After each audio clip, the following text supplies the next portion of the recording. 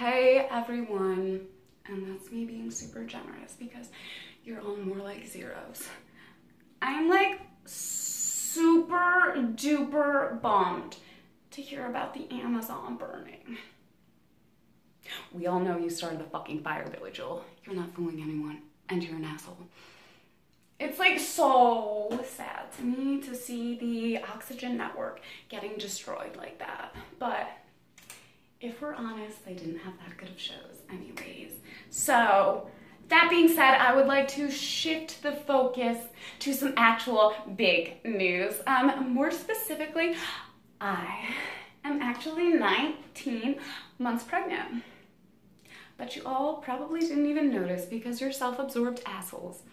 And also because I've been drinking my flat tummy tea by Teabagged. Now, you guys know that I would never endorse something that I don't believe in 100%, which is why my page is mostly talking about me and Santa Claus and our government and now getting teabagged. Teabagged is the first thing I've ever put in my mouth. Wait for it.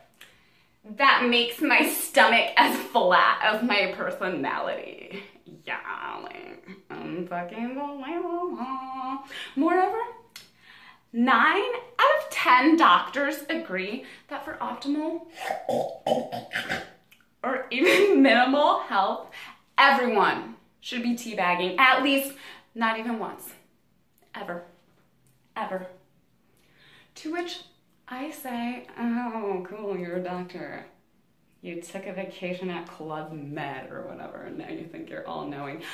I once took a vacation at Atlantis, okay? I have that ancient wisdom, that atavistic knowledge. Plus, I have 26 followers on Instagram, so who are you gonna listen to? Each mouthful of teabag contains two tapeworms and six servings of Ex-Lax. Oh no, that's gonna be a mess! Oh, that's running down the leg.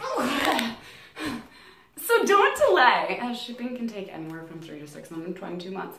Start teabagging today. I even got my own mom hooked on teabagging. I even teabag people at my church. But don't just take my word for it. The proof is in how good I look.